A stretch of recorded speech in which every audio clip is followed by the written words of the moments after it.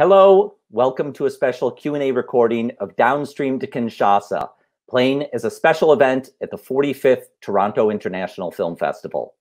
My name is Tom Powers, and I'm TIFF's documentary programmer celebrating my 15th year at the festival. I'm honored to be here with the film's director, Judo Hamadi, who is joining me from his home in Kinshasa in the Democratic Republic of Congo. He was last at TIFF in 2014 for his film National Diploma, and we're pleased to have him back. I also welcome our translator, Cien Gu. I want to thank you, the audience, for being a part of TIFF during these unprecedented times. We are grateful for your support to keep TIFF going for years to come. This film is eligible for the People's Choice Award. You can vote for your favorite films at tiff.net slash vote. Uh, Dieudo, well, welcome. Uh, we're sorry that you can't be here uh, in person in Toronto, um, but we're glad to be connected to you uh, from your home. Monsieur Mandy, euh, bienvenue. Malheureusement, nous ne pouvons pas nous réunir en personne, mais au moins nous pouvons euh, nous parler comme ça. Um, Merci beaucoup, Tom. I want to start by asking you. Um, you originally studied medicine, but you've been making documentary films for 10 years. What motivates you to be doing this work?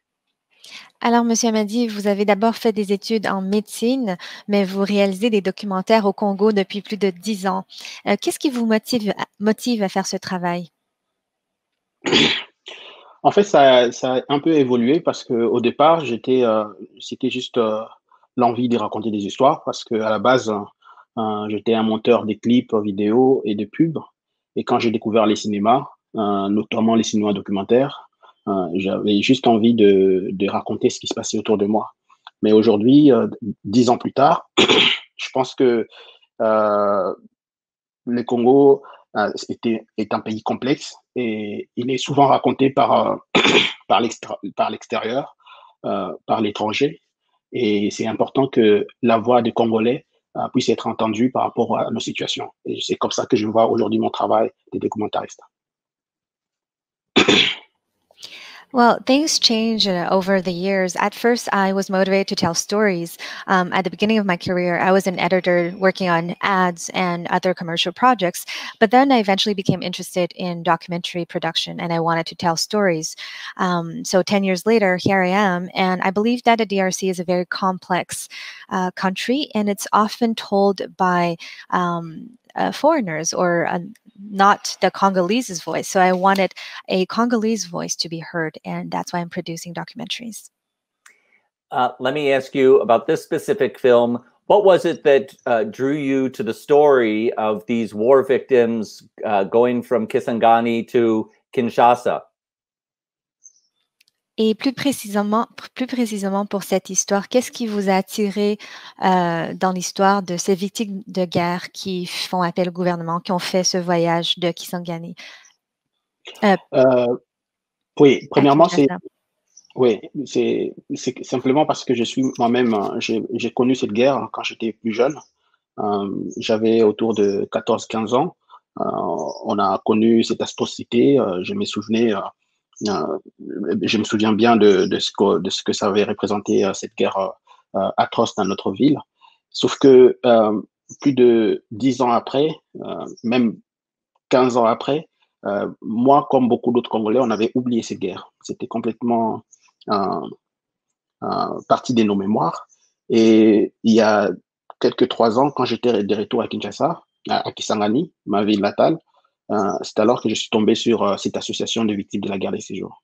J'étais un peu honteux moi-même hein, de, me rendre compte que euh, beaucoup de gens ont oublié cette guerre, moi compris, et que mal, malheureusement, beaucoup d'autres personnes souffraient encore de cette guerre parce qu'ils avaient perdu beaucoup. Ils avaient perdu des membres de famille, ils avaient perdu des, membres du corps humain, de leur corps, ils avaient perdu des maisons. Et jusqu'à jusqu'à présent, il n'était pas encore en mesure de répartir dans la vie. Et étant devenu un documentariste, c'est devenu nécessaire pour moi de raconter cette page de l'histoire, notre histoire récente, qui est malheureusement oubliée.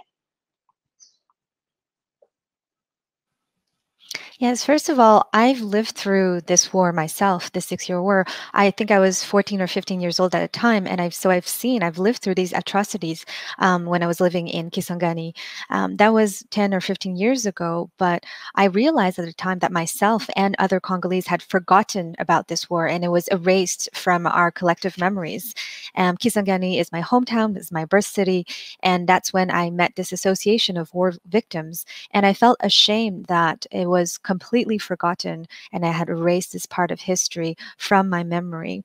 Whereas the victims themselves were still suffering. They had lost uh, family members, limbs. Um, they had lost uh, many things like their homes, and many of them are still trying to overcome it. It's not over. They were not able to restart their lives. So I felt as a documentarist, it was my calling to tell that part of history, that part of recent history.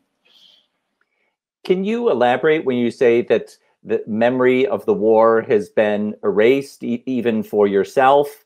Um, it, I think it's hard for some listeners to to understand that uh, because it's it seems like such a traumatic thing.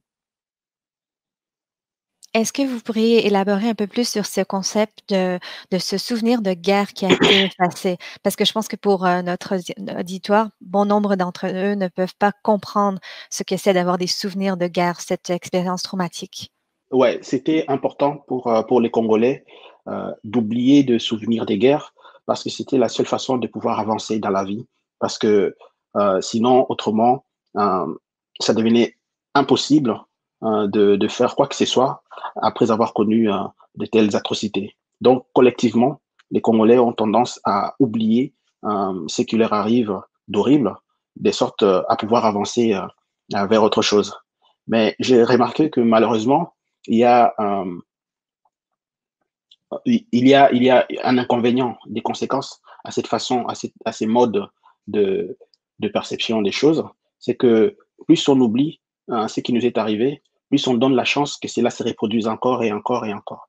Ça fait 20 ans aujourd'hui qu'au Congo, euh, nous connaissons une récurrence des violences, surtout dans la partie est du pays. Et ce qui entretient ces violences, c'est le fait justement que les gens continuent euh, délibérément à oublier ce qui arrive et ce qui donne, euh, ce qui donne la possibilité à ces événements de se reproduire encore et encore. Yes. Um, so to forget the memories of war is a way to survive, is a way, it's a defense mechanism to process that trauma so that survivors may keep going. They can move on so they can hang on to the future. And so collectively, the, the Congolese must forget. But the flip side of forgetting is that we are reliving the same atrocities over and over again. It's feeding into that cycle, uh, the, the, the, vicious cycle. Um, in Congo for 20 years, we there's been violence, especially in the east side of the country, um, because it's as it's recreating that cycle because people forget, um, and it's it's almost fodder to the fuel for for that violent circle. I want to ask you about the uh, scene, long scene in the film, uh, when everyone is making the journey uh, down the Congo River uh, looked like a very harrowing journey on film. I wonder if you can describe what it was like to be on that boat ride and filming it. Euh, J'aimerais vous poser une question sur euh, la scène euh, du, du, périple en bateau où vous descendez euh, sur la rivière du Congo. Ça a l'air d'être euh, une scène très difficile euh, à capter. Et quelle était votre expérience de tournage? Donc, je disais que euh, cette, euh, cette, euh, ce voyage, c'était particulièrement difficile parce que, en fait, nous étions sur deux barges, une embarcation, sans aucune protection possible. on avait des simples bâches qui nous couvraient, mais cela n'était pas suffisant pour nous protéger de la pluie, du soleil et, beaucoup d'autres, d'autres, d'autres, d'autres, d'autres éléments, d'autres intempéries. Et euh, en plus, pour le travail, euh, la caméra euh, n'était pas la bienvenue à bord. Beaucoup de passagers euh, n'étaient pas contents de se faire filmer, ainsi de suite. Et il a fallu que je puisse trouver une astuce pour pouvoir continuer à filmer les personnages que je suivais. Donc, j'ai utilisé mon téléphone portable, un iPhone, tout au long du, du tournage. c'était c'était pas ergonomique comme façon de travailler, comme outil de travail, mais cela m'a permis de, de, de, restituer ce périple sur cette embarcation. Et je disais aussi que la, euh, ce voyage était une expérience assez euh, euh, importante pour moi parce que c'était la première fois que je faisais ces, trajets par bateau. Je n'avais pas découvert, je ne connaissais pas cette partie de mon pays, donc j'ai vu ce que c'était que le Congo tout au long du fleuve et c'était assez intéressant et enrichissant de pouvoir le faire à l'occasion de ce film. It was an extremely difficult and challenging journey. Um, there were only tarps that were covering us, so we were basically exposed to all the elements. Um, we were at the mercy of weather and the sun, and we had to deal with all these other external factors. The second challenging thing was the other passengers, they did not necessarily want to be filmed or felt comfortable, so I couldn't bring out my big cameras. I had to film the entire scene with my iPhone. So it was a little bit difficult to work work um, because the iPhone is not the ideal tool, obviously, for a, a, filmmaker, but at least it allowed me to do my work and to capture this this journey. And thirdly, this this uh, journey for me was very um, meaningful uh, because it was the first time that I went from my hometown of Kisangani to Kinshasa uh, by boat. Um, so I was able to have a completely different vantage point, a completely different perspective of, of this journey um, thanks to this film. Uh, I want to ask uh, Judo if you've had a chance to show the film to the people who are in it, and if you've had that chance, what was that like? Avez-vous eu la chance de partager ce film avec euh, les personnages qui sont dans le film? Et pourriez-vous euh, décrire cette expérience? Oui, euh, à la, avant la fin, à, après le, le, le, le, montage, en tout cas le, la, la, première partie du montage, j'ai pu organiser euh, une petite séance euh, avec euh, de, le personnage qui s'est trouvé encore à Kinshasa à l'époque. Et, c'était assez, bizarre. en fait, finalement, j'ai un peu l'habitude parce que les gens ne réagissent pas toujours de la même manière. Les gens que je filme, en tout cas, quand ils, quand regardent le résultat du film, ça a toujours été difficile pour moi de, de savoir si euh, s'ils aiment ce qu'ils ont vu ou s'ils ils n'aiment pas ou s'ils sont indifférents. Et cette fois-ci, euh, c'était plus ou moins pareil. Euh, J'avais l'impression que certains avaient été juste contents de se voir dans, dans un film, euh, pas plus que ça. Et tandis que d'autres, voilà, n'avaient pas manifesté une, une quelconque enthousiasme ou quelque chose qui pourrait m'aider à savoir si le film était bien ou pas. la seule chose euh, assez positive euh, dans cette expérience, c'était de d'entendre quelques-uns, en tout cas pratiquement tous, réclamer le film à sa sortie pour que ce soit un outil pour eux de, de, sensibilisation autour de, des questions de, de, de, cette guerre de six jours.